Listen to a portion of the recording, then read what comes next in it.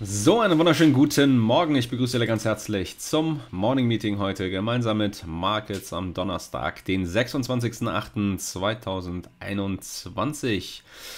Wie gewohnt wollen wir uns einen Blick auf die Märkte gönnen und äh, ja, auch den kurzen Flash im DAX ähm, unter die 15.800er Marke vielleicht einordnen, der natürlich mittlerweile komplett zurückgekauft worden ist. Neue Tageshochs. Das 15.800er Level ist zurückerobert worden. Allerdings muss ich ehrlich gestehen, ich befürchte, dass das schon das höchste der Gefühle an ähm, Volatilität, Querstrich, Action, Dynamik für den heutigen Handelstag ist. Wir haben morgen am Freitag, den 27.08. um 16 Uhr unserer Zeit, dann das Schlüsselevent dieser Woche. Mal schauen, ob der DAX darauf überhaupt ähm, so reagiert oder ob wir nicht eventuell schon jetzt beginnen sollten, uns mental darauf vorzubereiten, dass die Volatilität, sofern sie überhaupt einsetzen sollte, das ist natürlich die Grundvoraussetzung, infolge irgendwelcher rhetorischen Andeutungen von Jay Powell und Jackson Hole bezüglich Taper und dergleichen, dass das eventuell ähm, dann sich auf die nächste Woche vertagt, dass wir vielleicht einen relativ volatilen Wochenausklang dann sehen in US-Equities, aber dass dann eben die Hauptwohler eben tatsächlich, das Hauptvolumen, erst in der kommenden Woche wirklich in den Markt ähm, kommt. Aktuell ist es auf jeden Fall einmal so, dass der Markt ähm, so ein bisschen den Eindruck vermittelt, vielleicht die Ruhe vor dem Sturm zu sehen. Ja, wir hoffen natürlich in gewisser Form wenigstens, dass mal ein etwas, ähm, ein etwas stärkerer Wind, eine Böe irgendwie mal über die Märkte fegt. Ähm, wenigstens etwas. Also ein Sturm muss es ja nicht gleich sein, aber äh, ausgehend von gestern zum Beispiel im Nasdaq bzw. in Qs im haben wir gesehen, dass es ein unglaublich niedriges Volumen eben tatsächlich gab. Und äh, das ist natürlich etwas, ähm, was darauf hindeutet, dass die Märkte sich mehr und mehr zurückzunehmen scheinen wahrscheinlich in Antizipation auf Jay Paul. Mal schauen, morgen werden die Karten neu gemischt. Ähm, Gold konsolidiert unterhalb von 1800 US-Dollar. Da werfen wir auch einen Blick natürlich drauf. Hauptsächlich ähm, sicherlich begünstigt durch diesen jetzt leicht anziehenden US-Zins. Vielleicht sieht man da eine kleine bullischere Tendenz dann, wie gesagt, morgen durch die Taper-Spekulation. Gibt dann auch schon mal so eine Vorahnung, ähm, was sollte sowas überraschenderweise, muss man mittlerweile sagen, wahrscheinlich sollte so etwas kommen, was das für Gold nach sich ziehen könnte. Ähm, kurzer Blick dann natürlich auch auf Bitcoin in diesem Zusammenhang. Ja, also wir haben auf jeden Fall einige Märkte, die wir heute be beackern wollen, beziehungsweise einen Blick drauf werfen wollen. Zunächst allerdings hier einmal der Risikohinweis. Devisen und CFDs sind komplexe Handelsinstrumente auf Margin und gehen wegen der Hebelwirkung mit dem hohen Risiko einher, schnell Geld zu verlieren. Der Hebeleffekt im Trading, der kann für, aber auch eben gegen einwirken. Ausgehend von seiner persönlichen Risikoneigung entscheidet man dann bitte, ob sich der Handel mit diesen Produkten für einen eignet. Beginne mit einem Demokonto, früher oder später eventuell der Switch in Richtung Live. Vollständiger Risikohinweis auf markets.com/de. Dort auch alle weiteren Informationen rund um die darüber hinausgehend von Markets angebotene Produktpalette, seien es physische Aktien, seien es ETFs, also Multi-Asset Brokerage. Eben in diesem Zusammenhang Investlösungen findet man dort ebenfalls neben diesem für das primär Daytrading geeignete ähm, gehebelte Handelsspektrum. Gerne ähm, kontaktiert mich, wenn ihr Fragen zu den Märkten habt. Postet die Fragen gleich unterhalb dieses Videos, falls ihr das ähm, jetzt auf YouTube eben seht. Postet die gerne bei mir im Forum auf der Webseite jk-trading.com slash Forum. Kontaktiert mich gerne über Twitter, schickt mir gerne eine E-Mail. Da gibt es auf jeden Fall diverse Möglichkeiten zusammenzufinden. Und ja, dann switchen wir einmal hier rüber, zack, in die Markets X Plattform. Ihr seht, da dieser kurze Push auf der Unterseite. Ich muss ehrlich gestehen, dieses Abrollen hier, was gestern stattgefunden hat, war ein bisschen überraschend, denn äh, diese Schwäche in Anführungsstrichen ähm, oder dieser, dieser Abgabedruck, ja, alles, alles sehr, sehr, sehr große Worte für das, was wir da sehen, also eher eine Drift, ehrlich gesprochen, ähm, spiegelt sich in den US-Equities zum Beispiel gar nicht wieder, in keinster Weise, was wiederum unterstreicht vielleicht, dass es sich hier um ein, äh, eine potenziell wirklich relative, relative Schwäche im DAX eben tatsächlich handelt. Ich schreibe mal ganz kurz hier Markets X für die Plattform, falls die Frage aufkommen sollte, wo man sich diese besorgen kann. Einmal hier auf den Link klicken. Moment, wo haben wir sie denn? Suchen und suchen und suchen. Da. Also hier ist einmal der Link. So, auf der Webseite. Ähm, ich räume hier ganz kurz mal die Präsentation auf. Schaue jetzt mal eben über alle Kanäle. Ähm, an SL, das ist dein Kürzel hier bei, bei YouTube. Du hattest gestern noch eine Frage gestellt, ähm, die ich jetzt nicht mehr zusammenbekomme, aber das, ich habe die erst gesehen, nachdem ich das Event schon beendet hatte. Könntest du die nochmal wiederholen? Ich glaube, das ging um irgendeinen Markt, wo wir einen Blick drauf werfen sollten, den wir ähm, nicht, nicht ähm, angeschaut hatten. Ähm, also, wenn du das nochmal ganz kurz posten könntest, welche, welcher Markt da für dich von Interesse war, das wäre super nett, dann, dann könnten wir da gleich ähm, relativ zügig drauf eingehen tatsächlich. Guck mal hier ganz kurz noch auf Twitch wird auch alles gestreamt, hier wird auch alles gestreamt. Phänomenal, sehr gut. Also, Technik steht. Ähm, ja, also Blick auf den, wie gesagt, Blick auf den DAX und die, die, die Performance, die wir jetzt hier zu sehen bekommen. Wie gesagt, das war überraschend, ehrlich gesagt, dieser Abgabedruck. Ich hätte jetzt nicht damit gerechnet, ehrlich gesprochen. Baba, Vielen Dank, jetzt weiß ich wieder, jetzt habe ich es wieder. Genau, Baba, äh, beziehungsweise Alibaba, genau. Die hatten äh, ja diese, diese potenzielle Bodenbildung ähm, gesehen und dergleichen. Da werfen wir einen Blick drauf, machen wir. Ähm, also hier, wie gesagt, der Abgabedruck, das Überrollen, wir hatten es gestern zum Thema gemacht, schon bereits, dieses Überrollen hier, welches vielleicht nochmal die 15.8 in den Mittelpunkt des Geschehens rücken könnte, hier diesen Bereich. Und in der Tat drifteten wir dann sehr, sehr saft- und kraftlos im übertragenen Sinne in Richtung ähm, dieser, dieser Region. Droppten dann durch entsprechende eher bärische Vorgaben aus den asiatischen Märkten jetzt in Richtung wirklich dieses Bereichs, erreichten die dann, also drifteten nicht nur in diese Richtung, sondern erreichten diesen Bereich. Und dann kam es eben hier kurz nach der Kasseeröffnung, beziehungsweise eigentlich schon ab 8 eigentlich, kam es zu einem kurzen Flash, wie gesagt, auf der Unterseite, der uns dann in Richtung auch des nächsten potenziellen Kursziels um 15.700 Punkte führte. Und ähm, ja, nunmehr, nunmehr sehen wir allerdings, dass wir sofort in diesem Bereich wieder Käufer in den Markt kommen sehen und entsprechend wie so ein ähm, ähm, V hier an der Stelle eben einzeichnen und entsprechend eben ein Bounce auch zurück über den EMA 50 hier auf 5-Minuten-Basis sehen, was dann wiederum für den Intraday-Handel hier ähm, dazu beiträgt, dass wir den Switch eben ähm, ähm, von Short Intraday zunächst jetzt wieder auf Long tatsächlich vollzogen haben, beziehungsweise vor dem Hintergrund dieser, dieser Price Action hier eher der Modus wahrscheinlich als neutral ein, eingestuft werden sollte.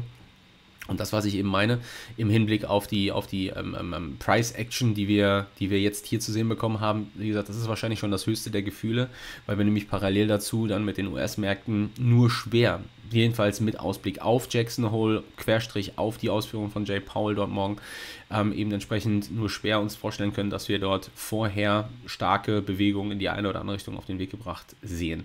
Ähm, wie gesagt, das spiegelt sich auch im, im Volumen wieder. Ich habe jetzt hier einmal einmal da die Cues. So, ich habe die hier einmal mit Volumen unterlegt. So, damit wir das auch mal real sehen. Wir sehen hier Jahresbeginn, 31. Dezember. Den nehmen wir mal raus. Volumen legen wir einfach mal drüber. So, und ähm, jetzt können wir mal ganz kurz Folgendes machen, nämlich eine horizontale Linie hier einzeichnen. So, und dann das gestrige Volumen, das ist dort in diesem Bereich.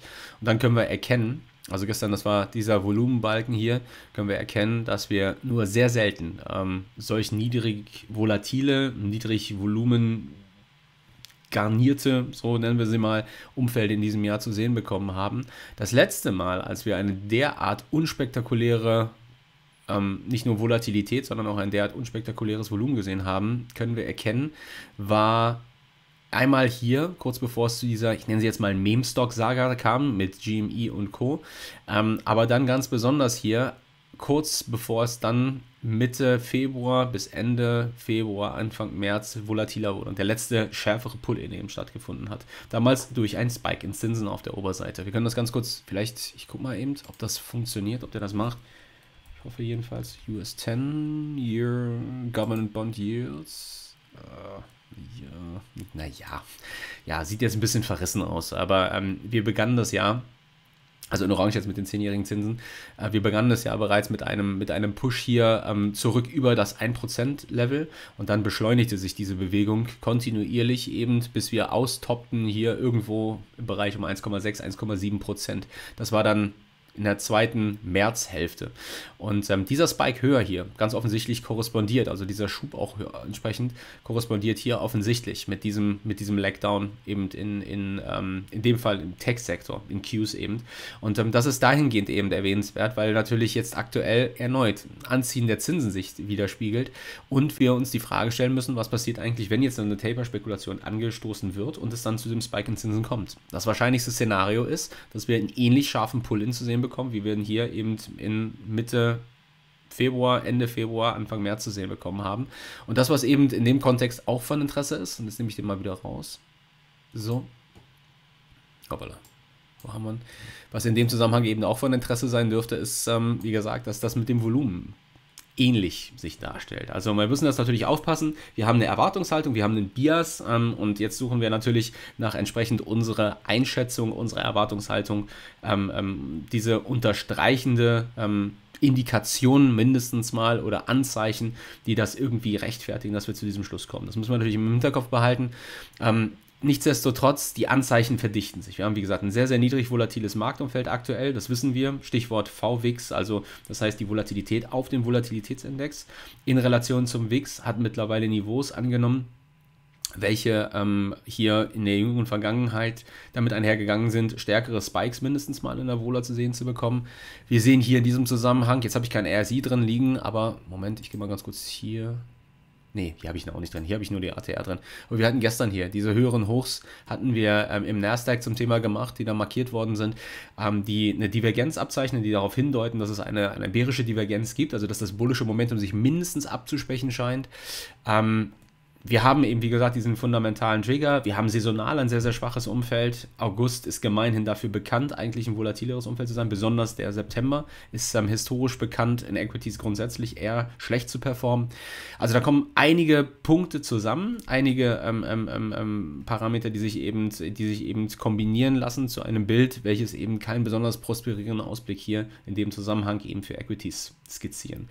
Und ähm, ja, das wie gesagt bedeutet unterm Strich eben, dass da vielleicht über kurz oder lang ein stärkerer Flush auf der Unterseite stattfinden könnte. Nichtsdestotrotz, für den heutigen Tag, ähm, wie gesagt, ist das, was wir hier im DAX heute früh zu sehen bekommen haben, wahrscheinlich wohlertechnisch schon das höchste der Gefühle.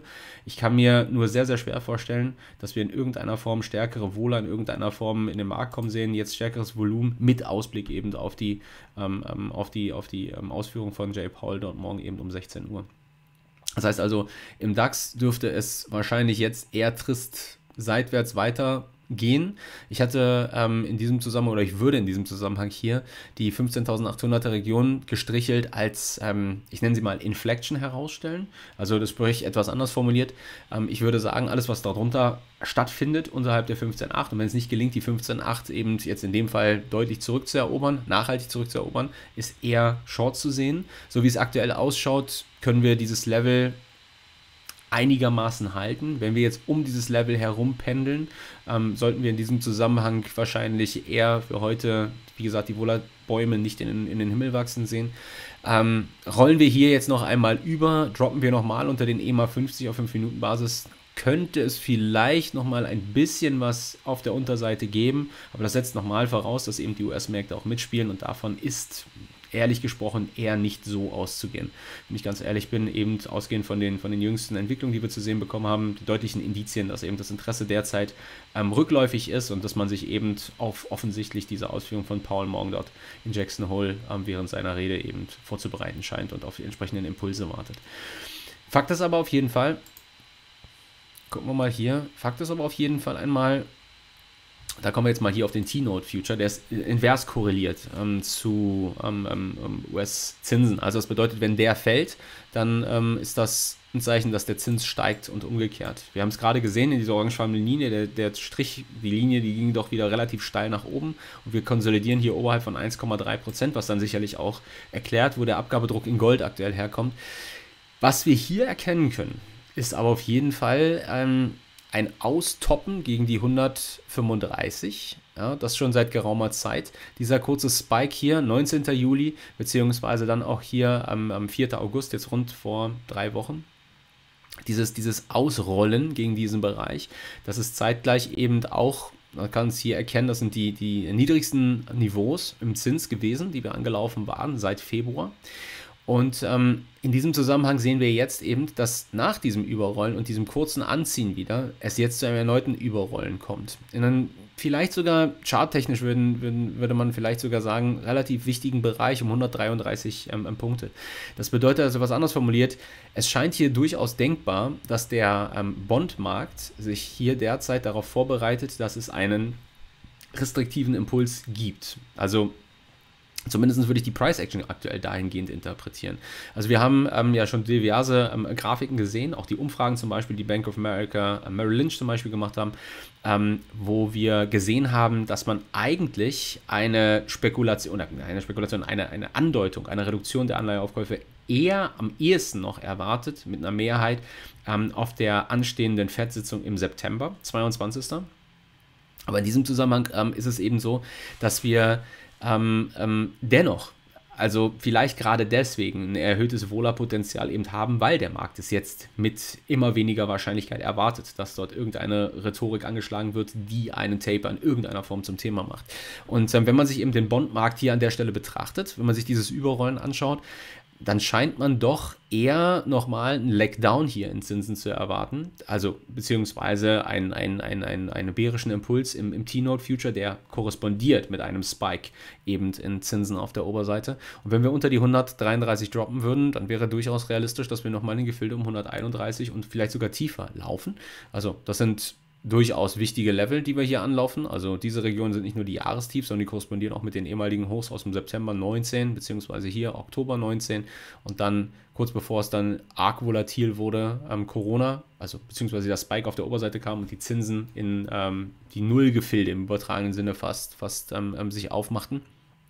Es ist eben so, sollten wir diesen Bereich hier unterschreiten, dass dann durchaus nochmal Potenzial bis 128 Ticks denkbar wird. Das wären dann Zinsniveaus, die uns bis Gefilde um 2% und darüber hinaus sogar katapultieren könnten. Wir sollten uns vor Augen führen, wenn wir schon eine derartige Volatilität, und jetzt kommen wir wieder zurück zum, zum äh, Nasdaq bzw. DAX, aber wir wollen mal besonders den Nasdaq hier betrachten, wenn wir uns vor Augen führen, dass wir schon alleine hier bei einem Spike auf die aktuellen Niveaus. Also das Interessante ist natürlich, vielleicht hat der Markt auch mittlerweile verarbeitet und hat gesagt, naja, im Großen und Ganzen, ob jetzt der Zins ähm, bei 1,3% liegt oder bei in Anführungsstrichen 0%, das hat auf die Gewinnmargen, quersteht die Wachstumsaussichten der jeweiligen Growth-Titel nur bedingt Auswirkungen. Und demnach war dieser kurze Spike in Zinsen dann zu Beginn des Jahres, beziehungsweise im Februar, März, ähm, eben nur deswegen in der Lage, eine höhere Volatilität zu begünstigen, weil der Markt das erstmal verarbeiten musste. Jetzt sind wir auf den gleichen Niveaus im übertragenen Sinne angekommen, wie eben noch zu Zeiten im, ähm, im Februar bzw. März, als diese Wohle angestiegen ist. Nur mit dem entscheidenden Unterschied, dass wir mittlerweile eben hier über 3000 Punkte oder fast 25 Prozent höher notieren, also ausgehend von diesen Tiefs.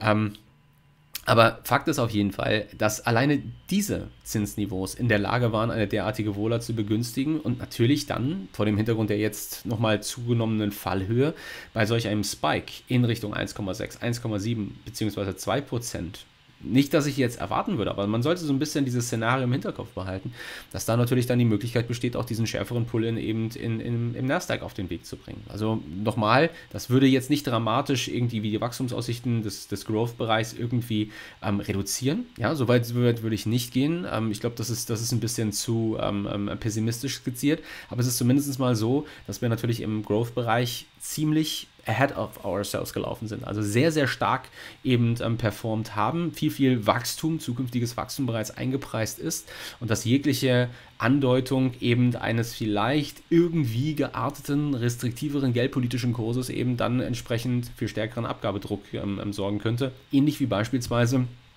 wenn ein Growth-Titel hier ein weniger starkes Wachstum eben in Aussicht stellt. Also wir haben ja zum Beispiel in dem Zusammenhang, der ein oder andere erinnert sich ja vielleicht, die sogenannte ähm, ähm Full-Year-Guidance, die zum Beispiel ausgegeben wird von Unternehmen. Ähm, zeigen wir mal vielleicht ganz kurz. Gestern hat zum Beispiel CRM, das war Salesforce, hier Zahlen äh, veröffentlicht. Und ähm, hier in diesem Zusammenhang konnte man erkennen, dass die Zahlen nicht nur sehr, sehr gut waren, also ähm, ähm, ähm, ähm Top- und Bottom-Line geschlagen haben oder besser als erwartet worden sind, also Revenue und ähm, Earnings per Share. But ergänzend, äh, but ergänzend dazu, aber auch ergänzend hierzu, eben entsprechend den Revenue Forecast angehoben haben, also die Wachstumsaussichten für die letzten Monate diesen Jahres, beziehungsweise eben auch hier die Full Year 2020 Revenue Guidance angepasst haben. Also das heißt, mehr Umsatz erwarten, ausgehend von den aktuellen Entwicklungen, die das Unternehmen eben sieht, in diversen Geschäftsbereichen oder in seinem Kerngeschäftsbereich, so muss man es eher formulieren. Ähm, dass man in diesem Zusammenhang eben das anpasst. Und wenn du das besonders bei einem Wachstumstitel hast, der keine Dividenden auskehrt. Also das heißt, an dieser Stelle einen Einzeltitel hast, der eben nur primär auf Wachstumsaussichten fußt und diese Wachstumsaussichten dann irgendwie stagnieren oder beziehungsweise es Rücksetzer gibt, dann ist vieles von dem, was man eben entsprechend ähm, ähm eingepreist hat an zukünftigem Wachstum, eben bereits in der Aktie sich widerspiegeln und das resultiert dann bei einem entsprechend eher enttäuschenden Revenue Guidance ähm, ähm, ähm Ausblick äh, dass das dann eben dazu führt, dass es zu einer Korrekturbewegung kommt. Und das lässt sich eben aus diesem Mikrokosmos ganz einfach oder zügig an, auch auf den Makrokosmos eben übertragen. Und das ist eben genau das, auf, oder das, das, das, das, was ich damit meine, wenn, wenn ich sage, diese Rallye ähm, in, im Tech-Bereich besonders, die baut auf tönernen Füßen vor dem Hintergrund dessen, was wir jetzt erwarten dürfen im Hinblick auf die ähm, ähm, äh, Fett-Geldpolitik oder beziehungsweise das Mehr an Liquidität, was in die Märkte gepumpt wird, durch nämlich diesen zunehmenden Inflationsdruck, der einfach einen restriktiveren geldpolitischen Kurs nicht nur rechtfertigt, sondern man möchte fast vielleicht sogar sagen, unausweichlich werden lässt.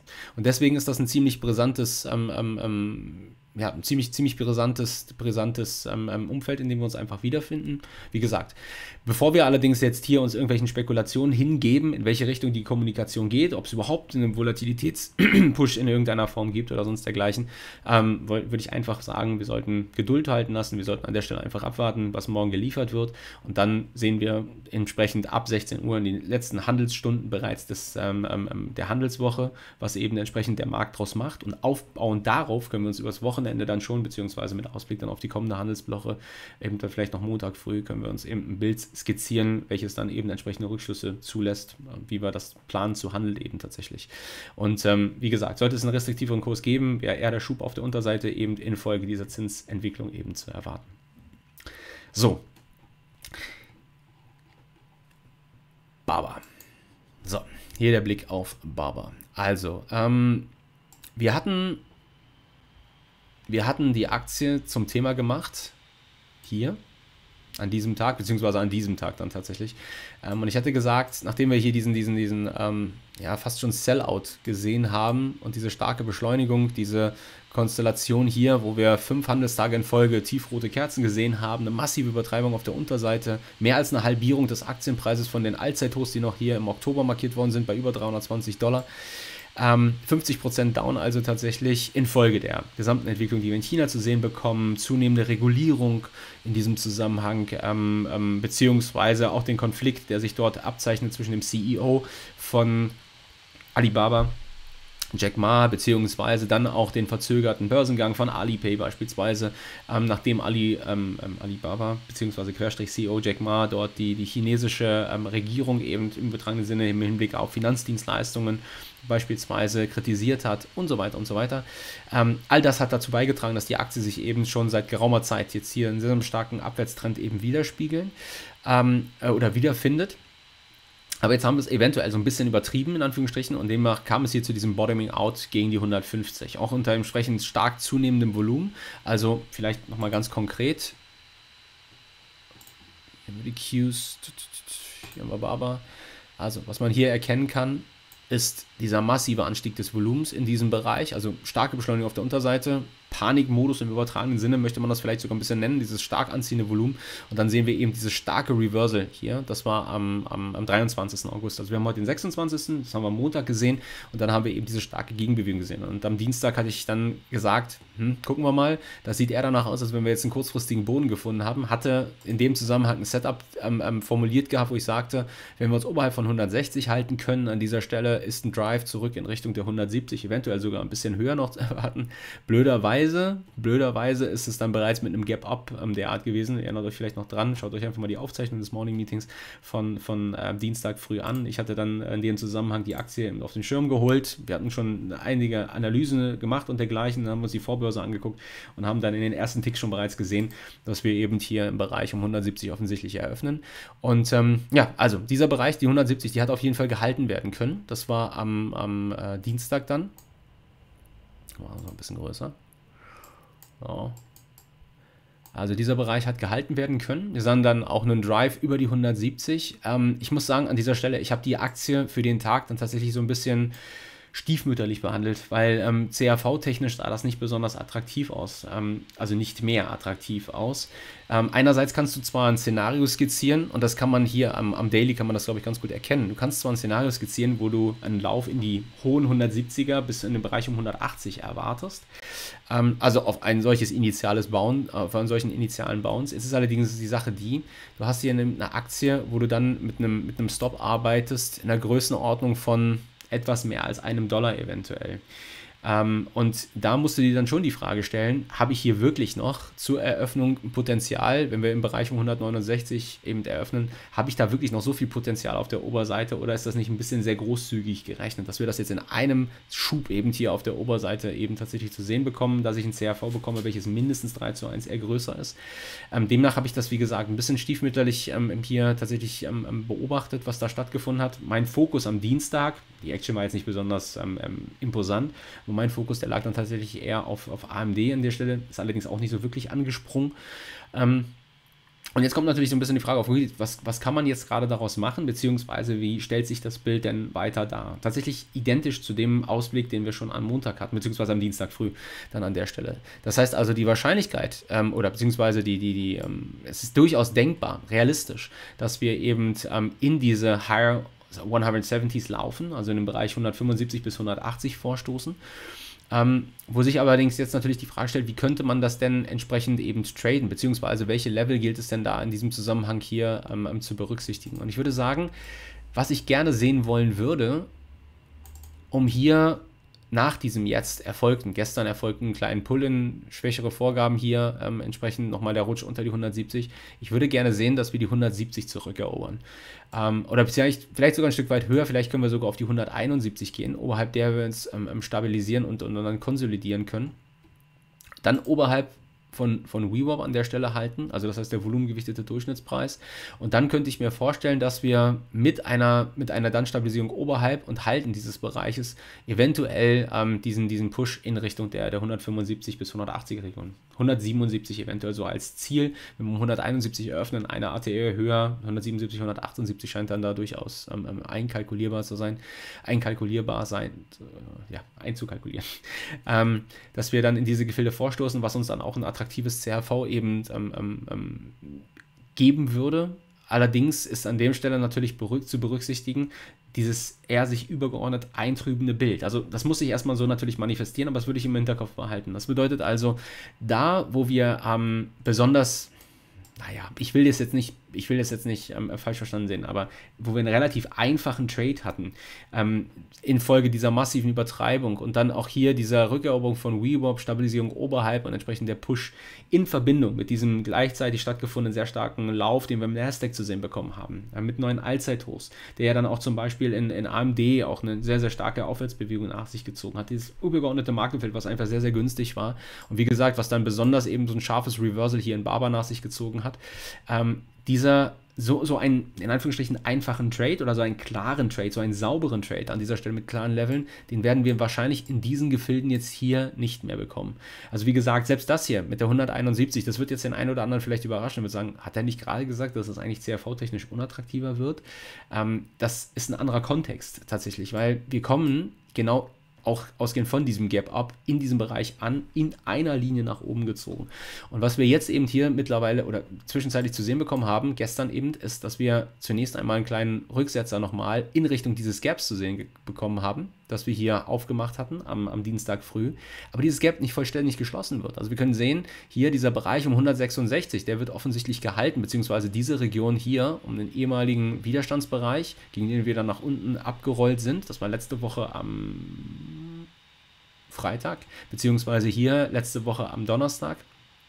Den können wir eben tatsächlich halten. Wir können nahezu 50 Prozent dieses Gaps halten und das ist, das ist ein durchaus positives Signal, was jetzt die Wahrscheinlichkeit erhöht, dass sollte es zu dieser Rückeroberung dann der 170-171 kommen, dann ein weiterer Durchmarsch in Richtung eben der Higher 170s ähm, ähm, erwartet werden könnte. Was eben dann die Wahrscheinlichkeit höher gestaltet an der Stelle, dass wir ausgehend von diesen Kursniveaus diese Gefilde anlaufen, was CAV-technisch wiederum dann einen Trade rechtfertigen würde. Ja, so, das, ähm, das also zu Barber. Wie gesagt, um, um zu entscheiden, ob das ein ähm, attraktives Play ist, für mich ist da immer eine, eine Kennzahl eben in diesem Zusammenhang das, das Pre-Market-Volumen. Das vielleicht nochmal ganz kurz hier. Ähm, sprich, ich möchte gerne sehen, dass wir mindestens 10% des, des ähm, durchschnittlich gehandelten Volumens in der Vorbörse bereits gehandelt sehen. Durchschnittlich werden da hier 20 Millionen, ein, rund 21 Millionen Stücke gehandelt. Gestern wieder etwas oberhalb dieses Niveaus, aber verhältnismäßig niedrig im Vergleich zu dem, was hier stattgefunden hat. Ähm, was sich natürlich ins gesamte übergeordnete Bild einfügt. Also was ich in der Vorbörse gerne sehen wollen würde, ich gehe jetzt nicht davon aus, dass ohne entsprechenden ähm, externen Trigger Fundamental Game Changer News, wie auch immer geartet, dass hier dass das Volumen deutlich in Richtung 10 und drüber Prozent eben ansteigt. Aber ich möchte nach Möglichkeit irgendwas sehen im Bereich zwischen 800.000 bis 1 Million gehandelte Stücke in der Fondsbörse. Ähm, ich gucke mal ganz kurz, wie viel es gestern waren. Ich hatte Barber nämlich tatsächlich kurz auf dem Schirm, habe mich dann aber hauptsächlich auf äh, DKS konzentriert. Also ähm, ähm, ähm, Dix, den, den ähm, Sportartikelhersteller. Kurz einen Augenblick, wo habe ich denn das jetzt hier? Einen Augenblick, einen Augenblick. Hier. Moment, ich gucke mal kurz. Ja, gestern waren es etwa eine halbe Million Stücke, die gehandelt worden sind in der Vorbörse. Also ähm, halbe Million Stücke, wie gesagt, das war nicht wirklich heiß an der Stelle. Es war okay. Es war im Bereich ähm, des, des Akzeptablen. Ähm, das ist ungefähr 3 bis 4 Prozent des durchschnittlich gehandelten Volumens, aber heiß ist es nicht. Heiß war im Gegensatz dazu eben DKS. DKS, Dix hat gestern, normalerweise werden da eine 1,6, 1,7 Millionen Stücke pro Tag gehandelt. Hier Dix hat äh, gestern in der Vorbörse schon ähm, über 600.000 Stücke gehandelt gesehen, also nahezu ein Drittel dessen, was durchschnittlich gehandelt würde. Ähm, und hat auch für den gesamten Handelstag 17 Millionen Stücke gehandelt gesehen und ähm, hat unter Riesenvolumen hier, also in Relation, letzte Mal, dass wir solch einen, einen, einen äh, Volumenspike gesehen haben, das war beim letzten Earnings Report, also wie gesagt, eine Aktie, die, die ähm, potenziell eben rund um die Earnings offensichtlich immer heiß ist. Äh, und dann haben wir eben hier so einen ja, wie bezeichnet man das? Evening Star, glaube ich, in der, in der Candlestick-Theorie ausgezeichnet. Das heißt also, wir sind nochmal kurz zur Eröffnung auf der Oberseite gelaufen, haben dann aber im Bereich der Tagestiefs geschlossen.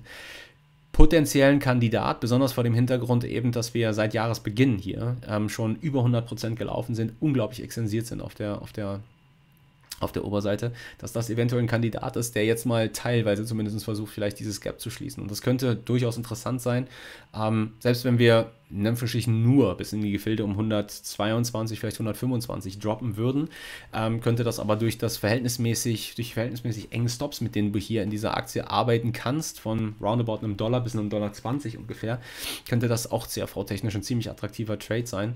Ähm, also durchaus eine Aktie, die man auf dem Schirm haben sollte. Ähm, ich habe die Aktie gestern, ich hatte kurz mal versucht von der Shortseite zu traden, hat nicht gut funktioniert. Also das Markenfeld, man kann es ja hier erkennen, war nicht besonders sauber. Mein Versuch, ähm, der konzentrierte sich, also ich hatte gestern schon diesen Rollover-Gedanken, so will ich den mal bezeichnen. Kurz mal, Moment, ich mache mir hier fünf Minuten. Äh, eine Minute, das ist jetzt ein Minutenchart. Und den nehme ich mal hier raus, den Kollegen, den brauche ich nicht. So, also, da kommt, wie gesagt, dieses massive Gap ab, beziehungsweise ganz kurz mal, einen Augenblick. Ich mache mal parallel noch dazu hier. Habe ich... Nee, habe ich gar nicht. Oh, okay. Okay, einen Moment. Dann muss ich das, muss ich das anders machen. Einen Moment. Ähm, nehmen wir mal hier die Betrachtung aus der Discord-Community.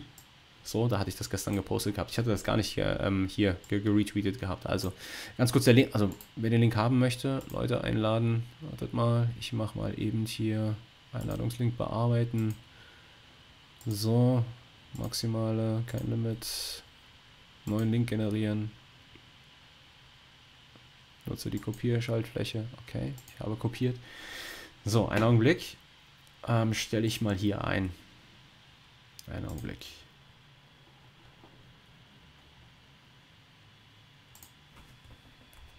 Discord.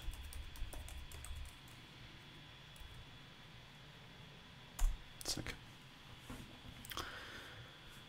Ähm, warum er, warum er ähm, Michael Burry, warum der Langfristanleihen shortet, ähm, naja, wahrscheinlich, weil er darauf aus, ähm, darauf spekuliert an dieser Stelle, dass es eben ähm, bei einem anhaltenden Inflationsdruck zu Spikes in Zinsen kommen wird.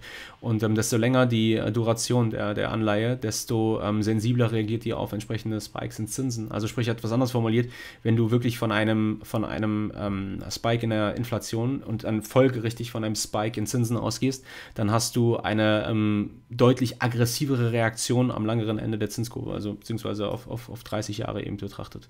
Und ähm, also ist mal sehr plump formuliert, der kriegt einfach für, für ähm, ähm solch ein, ein, ein 30 Jahre Treasury Short, kriegt er einfach den biggest bang for the buck das, ist, das, wird, das wird die Motivation dahinter sein. Daran spiegelt sich ja auch, also diese Inflationserwartung von Burry spiegelt sich ja auch wieder in seiner ähm, Erwartungshaltung ähm, in Bezug auf beispielsweise ARK oder, oder, oder Tesla. Seine Shorts in dem Bereich, in diesem Growth, also Growth ETF, ARK Innovation von, von Katie Wood, beziehungsweise Tesla ähm, ist ja dann etwas, was hier in diesem Zusammenhang ähm, ähm, ähm, der, der, der Haupttreiber, der Hauptspekulation diesbezüglich sein wird. Ja, ähm, also hier zu den, zu den Dicks äh, Sporting Goods, wie gesagt. Also EPS 5 Dollar, also Earnings per Share, Gewinn pro Aktie 5,8 Dollar gegen 2,70 Dollar, fast 100% drüber. Sales 3,27 Milliarden gegen 2,82 erwartet. Ähm, besonders die Full-Year-Guidance, äh, die man jetzt hier angepasst hat, absolut ähm, crazy. Also wirklich ähm, mega Wachstumsausblick. 12,45 Dollar bis 12,95 Dollar, also nahezu fast ähm, ähm, hier an der Stelle 30 Prozent oberhalb dessen, was erwartet worden ist. Sales in diesem Bereich, ebenfalls die, die Guidance-Verkäufe ähm, ebenfalls nach oben angepasst. Aber jetzt kommt genau der Punkt. Also das sind wirklich crushing Numbers, das sind wirklich richtig, richtig starke Earnings. Aber die Aktie ist eben auch schon massiv gelaufen in diesem Zusammenhang und sieht sehr, sehr, sehr, sehr stark extensiert eben aus. Und ähm, das hat mich dazu veranlasst, wie gesagt, dieses Gap Up, was wir hier zu sehen bekommen haben, das eventuell als, als potenzielles Exhaustion Gap zu interpretieren. Aber ich shorte da nicht einfach blind rein, sondern was ich an der Stelle sehen möchte, ist, dass mir dann auch ein Signal seitens des Marktes geliefert wird. Und ähm, dieses Signal habe ich nicht sofort potenziell zur, zur Eröffnung bekommen. Also wir haben hier zwar so einen leichten Rollover in diesem Bereich gesehen, aber ich, ich, betrachte das dann in Relation zum, äh, zum volumengewichteten Durchschnittspreis, also zum VWAP hier. Und wenn wir unter den droppen und den dann nicht zurückerobern können, dann ist das für mich ein Zeichen, ähm, dass wir potenziell jetzt einen Top drin haben und eher dann in den Korrekturmodus gehen. Also dass die Verkäufer im übertragenen Sinne dann ähm, hier anfangen, die Kontrolle zu übernehmen. Und ähm, also wir sehen dann eben hier diesen Pop zurück in den, in den VWAP, kurzer Flash drüber und dann sofortige Rejection. Das hat mich dazu veranlasst, dann hier gegen diesen Bereich ähm, zu shorten. Das boah, ich muss das ja ganz gut gucken. 131,20, glaube ich, war der Fill oder irgendwie sowas in dem Bereich. Mit einem Stop oberhalb hier der 132. Also ich bin rund mit einem Dollar Risiko, auch basierend auf der ATR, ähm, gerechtfertigt in den Trade reingekommen. Und dann sehen wir eben hier dieses Überrollen. Was ich an der Stelle gerne sehen möchte, ist, dass wir eben in Richtung und unter die 129 ähm, ähm, laufen. Und das hat leider nicht funktioniert, sondern der Markt, der drehte dann eben, beziehungsweise der hielt die 130 und poppte dann hier zurück über den, über den WeWop und ähm, ich bin dann eben entsprechend ausgestoppt worden. Jetzt wäre im Nachgang so ein bisschen die Frage, was könnte ich da besser machen? Ist es überhaupt nötig gewesen, den hier dann ähm, ähm, ähm, ähm in den Stop laufen zu lassen? Hätte ich nicht schon, nachdem wir hier über einen Dollar dann in der Aktie gelaufen waren, hätte ich nicht den Stop auf Break-Even trailen sollen? Das Problem wäre in dem Zusammenhang gewesen, Besonders wenn du dann das Tape so ein bisschen betrachtet hast, oder beziehungsweise die Aktie generell, du hast gesehen, die ist verhältnismäßig ähm, auch ähm, spready, könnte man sagen. Also relativ breiter Spread. Das lässt sich auch daraus ausschließen, dass im Schnitt eben nur 1,7 Millionen Stück gehandelt werden. Das war jetzt gestern nicht so ein Problem, weil wir eben durch die Earnings und das reinkommende Volumen an dieser Stelle eben ähm, genügend Liquidität vorhanden hatten und der Spread verhältnismäßig eng war. Aber dennoch ähm, hat man das im Charakter einfach gemerkt. Und dann, wenn du den Stop dann hier auf Break-Even trailst, ähm, dann hast du das Risiko, dass wir eben kurz einen Spike nach oben sehen, so wie hier dann in dieser Kerze, das war ja, kurz vor 5 war das, oder? Ne? 16,54 so ungefähr. Da wirst du dann aus dem, aus dem Trade herausgepiekt und siehst dann aber einen erneuten Rollover hier zurück nochmal in Richtung der 130er Region. Und das wäre natürlich mega ärgerlich gewesen. Du, du bist einfach zu aggressiv mit deinem Stop, wirst dann rausgeholt und dann siehst du tatsächlich deine Trade-Hypothese sich etablieren. Und deswegen habe ich dem Markt hier ein bisschen mehr Luft gelassen an der Stelle. Wie gesagt, kleiner Verlust gewesen. Ich hatte auch nicht eine, eine, eine Full Position Size irgendwie, also sondern ich habe das relativ moderat erstmal versucht anzugehen, auch eben durch dann entsprechend die Stop-Weite und so weiter. Aber naja, hat nicht funktioniert. Allerdings ist, wie gesagt, der Gedanke weiter ähm, gegeben, denn wir haben dann, auch wenn es hier nicht wirklich zu einem Abkippen kam, aber wir haben im Bereich dieser Tagestiefs und dieser 129er Region eben tatsächlich den Tagesschluss eben gesehen. Und ähm, das sorgt jetzt eben dafür, dass hier natürlich die Möglichkeit beginnt zu erwachsen, dass sich aus Chance-Risiko-Verhältnis technischer Perspektive eventuell ein Short Play mit teilweise im Gap Close mindestens vielleicht herauskristallisiert, dass man dann CRV-technisch eventuell ähm, ähm, handeln kann. Also das ist auch so ein Titel, ein potenzieller Titel hier, den man heute auf dem Schirm haben sollte, wo wir eben zwar gestern nicht den Abgabedruck gesehen haben, aber der sich vielleicht heute beginnen könnte zu manifestieren. Aber auch hier wichtig, ähm, auch hier ist, ähm, es handelt sich um eine Aktie an der Stelle oder generell um das Aktienumfeld derzeit, was ein sehr, sehr niedrig volatiles und niedrig Volumen getragenes Umfeld findet, mit Ausblick auf J. Paul Morgan. Also das bedeutet, das anders formuliert, du hast hier an dieser Stelle ähm, eventuell nicht unbedingt die günstigsten Marktbedingungen. Ja? Also es lohnt sich, die Aktie auf dem Schirm zu haben, aber ich würde das nicht super aggressiv traden, ähm, weil es durchaus hier ein ziemlich tristes Treiben geben könnte, ähnlich wie im gestrigen Handelsverlauf dann. Ähm, erst eigentlich ein, deutliches, ein deutlicher Push unter die 129 mit deutlicher Konsolidierung unterhalb, vielleicht einen starken Opening Drive, wäre ein Indiz dafür, dass sich hier dann die, äh, diese Korrektur losgelöst vom breiten Markt eben tatsächlich widerspiegelt und da mehr Volumen vielleicht reinkommt. So, ähm, das zu DKS. Haben wir noch was? XPEF, heute potenzieller Kandidat, direkter Konkurrent von Tesla. Müssen wir mal gucken, wie sich, wie sich das ähm, präsentiert. Ich, hier ganz kurz einmal der Blick. XPEF ist Xpeng, also ein ähm, Electric Vehicle ähm, ähm, Anbieter aus China an dieser Stelle, ähm, der heute vor der Markteröffnung Zahlen veröffentlicht. Mal gucken, ob dort ähm, die, die, der, der, der Growth-Ausblick bestätigt wird. Wir wissen, ähm, Halbleiter, ähm, ähm, Shortage beispielsweise, also Semiconductor Shortage ähm, im Halbleiterbereich, ähm, davon hat der gesamte, äh, hat die gesamte Automobilindustrie eben entsprechend zu ähm, knabbern könnte durchaus sein, dass das ähm, hier negativ in irgendeiner Form sich auf dann die ähm, ähm nicht nur ähm, ähm, Zahlen insgesamt fürs jetzt dann zweite Quartal auswirken, sondern auch für die Delivery Numbers in der näheren Zukunft, dass da entsprechend eben dieser Growth-Ausblick sich nicht so bestätigt sieht. Auf der Kehrseite, wenn wir uns da losgelöst von präsentieren können, könnte es sein, dass eben XPEF hier einen starken Drive ähm, zu sehen bekommt, der uns über die 41 vielleicht sogar führt. Ist dahingehend halt interessant, weil wenn wir oberhalb der 41 eben hier eröffnen würden, das ist auch der Bereich um die Hochs von gestern, wie man es hier erkennen kann. Also es ist auch ein Minutenchart. Wenn wir oberhalb hier der 41 eröffnen und oberhalb dieser auch entsprechend uns stabilisieren, konsolidieren können, könnte das, der Bewe äh, könnte das eine, eine, Bewegung nach sich ziehen, die eine, einen stärkeren ähm, Push dann nochmal vielleicht in den kommenden Tagen, nicht zwangsläufig heute, wie gesagt, da gibt es obergeordnete Marktumfeld das nicht her, aber ähm, vielleicht in den kommenden Tagen nochmal in Richtung der oberen Range-Begrenzung, die sich hier ausgebildet hat, eben nach sich zieht, dass wir uns ein bisschen Gefilde um 45, 46 Dollar eventuell orientieren. Und ähm, ja, vielleicht mit verhältnismäßig kleinem Risiko in solch einen Trade hineinkämen, wenn wir uns vor Augen führen, aktuell liegt die ATR 22 bei etwa 2,50 Dollar.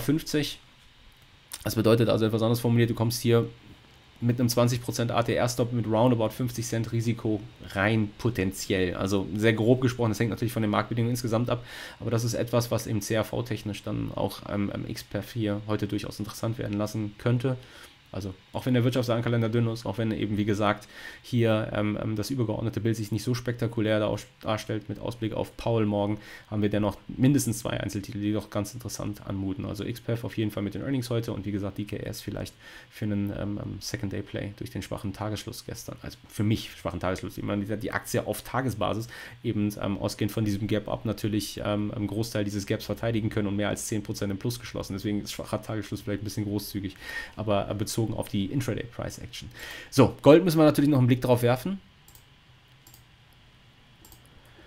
Weil es hier nämlich aktuell immer schwerer zu fallen scheint, gegen diesen potenziellen Long Trigger aufzudrehen. So, gucken wir noch ganz kurz hier. Fragen reingekommen? Nein. Okay. Also, hier ist der, der Pull-In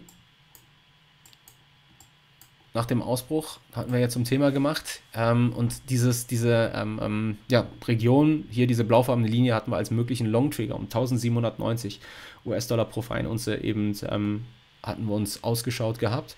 Stop 7,75, also bis jetzt noch nicht gestoppt worden, aber du willst natürlich gegen diesen Bereich jetzt langsam auch ein Aufdrehen sehen. Und desto näher wir an Jay Powell rankommen, desto ähm, ja, desto, desto, desto unsicherer in Anführungsstrichen wird das natürlich das Umfeld, beziehungsweise das ist so ein, so ein ähm, ähm, Wandeln auf der Rasierklinge im übertragenen Sinne. Du würdest gerne vorher schon eine entsprechende Reaktion sehen, dass du vielleicht auch das Risiko schon teilweise rausbekommst. Erinnert euch dran, wie gestern gesagt, gegen diesen Bereich hier 97, wenn wir ähm, gegen den uns long positionieren, kurzer Pop zurück in Richtung der 1800er Region für kleine Teilgewinnmitnahmen, vielleicht um das Risiko teilweise rauszubekommen. Ähm, ja, nunmehr, nunmehr ist eben dann hier der Flush in den, in den Nachmittag hinein, hat dann stattgefunden durch eben diesen Spike in den zehnjährigen Zinsen auf der Oberseite über 1,3% zurück. Ähm, jetzt driften wir zurück in Richtung dieser Tiefs. Wenn ich jetzt ehrlich gesagt eine Wette abschließen müsste, ähm, oder wenn man mich zwingen würde, eine Aussage zu treffen, würde ich sagen, die Wahrscheinlichkeit, dass wir hier nochmal diese Tiefs der Konsolidierung anlaufen und auch unterschreiten, scheint mir verhältnismäßig ähm, ähm, hoch. Und äh, in der Konstellation ist es eben so, dass dann es eher wahrscheinlich scheint, dass wir nochmal den Bereich um 1750 anlaufen und wie gesagt dann die, äh, ähm, ähm, äh, na wie heißt es denn, die Karten neu gemischt werden. Im Ausblick eben auf die Ausführung von J. Paul Morgan. Alles, was wie gesagt Taper beinhaltet, in irgendeiner Form dahingehend interpretiert wird seitens des Marktes, Spikes und Zinsen nach sich zieht, ist etwas, was potenziell hier Gold eher unter Druck hält. Also derzeit können wir wieder deutlich erkennen, die Korrelation hier an der Stelle ähm, zwischen, zwischen Gold, also negative Korrelation zwischen Gold und Zinsen. Spike in den Zinsen höher ist eher Abgabedruck auf Gold. Ähm, und sofern sich diese Bewegung in Zinsen weiter auf der Oberseite beschleunigt, wie gesagt, wird sich auch hier eher der Abgabedruck auf Gold nochmal ähm, eher intensivieren.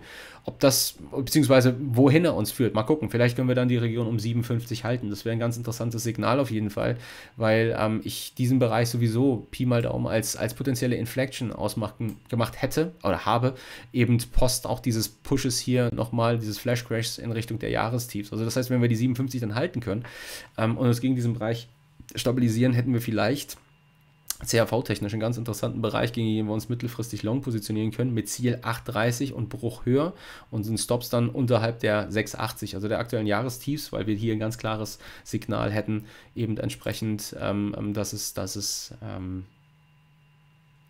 noch weiter abwärts gehen könnte, beziehungsweise dass das Bild in, in Gold offensichtlich sich nicht bullisch in irgendeiner Form darstellt.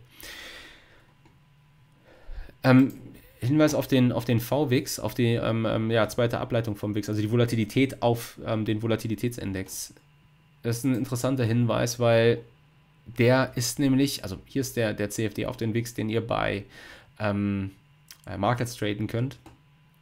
Ähm, dieser, dieser, dieser VWIX, der ist aktuell auf Niveaus gefallen, äh, oder nee, gefallen, gestiegen, je nachdem, aus welcher Perspektive man sich das anschaut, ähm, welcher in der Vergangenheit mindestens mit kurzfristigen Tops ähm, korrespondiert ist. Das ist eine ganz interessante Betrachtung, weil das könnte nämlich ebenfalls noch ein zusätzlicher Indikator sein, neben eben dieser, dieser Volumenbetrachtung gerade, dieser Divergenz, die wir sehen, ähm, diesen, diesem potenziellen makroökonomischen Trigger eben durch Jay Paul, dass wir, dass wir auch hier aus der Perspektive eher Chance-Risiko-Verhältnis technisch auf der Oberseite unattraktive ähm, ähm, Gegebenheiten aktuell vorfinden, dass es eher interessant scheint, vielleicht kurzfristig antizyklische Trades ähm, anzustreben mit, mit entsprechendem Pull-in-Potenzial. So, ähm, Bitcoin. Bitcoin, da nochmal hier einen Blick drauf. So, there we go. Also die, ähm, Linien haben wir drin gelassen. Demnach hier dieses Szenario, das ist jetzt ein sehr interessanter Bereich, den wir anlaufen, weil als potenziellen Long-Trigger-Bereich äh, schon identifiziert. Schon vor, heute ist Donnerstag, wahrscheinlich Dienstag hat man das gemacht. Dienstag, ne, Montag, Dienstag auf jeden Fall. Ähm, und jetzt stellt sich so ein bisschen natürlich die Frage, wie würde ich das aus diesen Gefilden eben tatsächlich hier traden? Ähm, ziehen wir nochmal eine Linie rein. Was ich jetzt sehen wollen würde, wenn wir jetzt den schon übergeordnet, so, wenn wir den jetzt schon entsprechend übergeordnet identifiziert haben, diesen Bereich, wir sehen grundsätzlich ein sehr, sehr stark bullisches Umfeld, sicherlich einerseits stark extensiert auf der Oberseite, auf der Kehrseite, aber auch die Vergangenheit dafür bekannt, dass solche, solche Runs dann in Bitcoin beispielsweise sich eben entsprechend weiter fortsetzen können.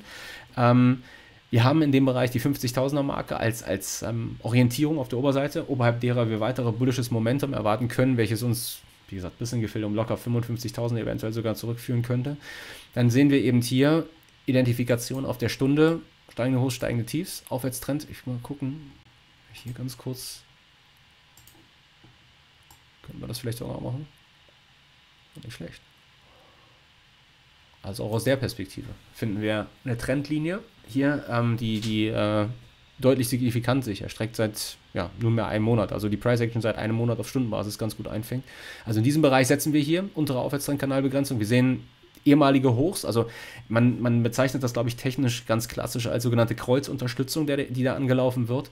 Und ähm, ich glaube, CRV-technisch für ein Longplay durchaus von Interesse, äh, weil wir auch ein klares Level haben, gegen das wir riskieren. Also durch nämlich diese technische Konstellation. Jetzt kommen wir nämlich in die untergeordnete Ebene. Ich nehme die Linie jetzt mal hier raus, nicht, dass es da zu Verwechslung kommt. Also das ist eine andere Trendlinie, die ich jetzt hier kurzfristig eingezogen habe. Ähm, wenn ich jetzt Bitcoin aktuell handeln sollte, würde ich Bitcoin von der Long-Seite traden. Wir sehen, auch wenn es kein dynamischer Break aus diesem oder über diese Trendlinie ist, es ist auch zumindest ein Bruch dieser, dieser Trendlinie. Wir konsolidieren oberhalb eines hier ausgebildeten Tiefs um 46.500.